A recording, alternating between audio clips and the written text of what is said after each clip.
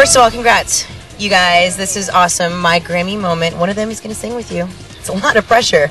No pressure, but a lot of pressure, actually. More pressure than they do, I think.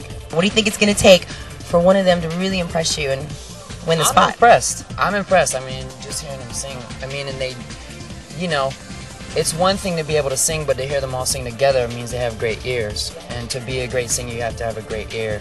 And that's what shocked me more than anything. And to know that they put that together in the bathroom, I was like, Oh, y'all were just singing a minute ago. I used to do with the guys. We'd like get in the bathroom and work out harmonies.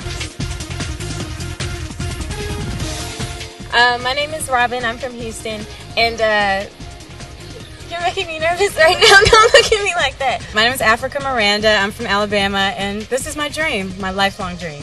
My name is Jillian. I'm from Long Branch, New Jersey, and I just want it, so you gotta give it to me. My name is Jessie James from Warner Robins, Georgia, and I've had posters of you on my wall since fifth grade. it would be a dream come true. And I'm Brenda from Staten Island, and Justin, you should pick me because I'm just I'm the bomb. That's why. Oh, the confident one. That is too With the con- you remember your first time at the Grammys? Uh, yeah. I was really nervous.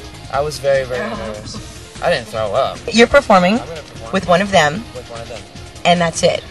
No, I'm gonna perform with myself too. With yourself as well. Okay, that's breaking news right here on Entertainment Tonight. Justin's performing on stage. So, what can you give them advice to calm their nerves before their first Grammy moment? One of them, of course.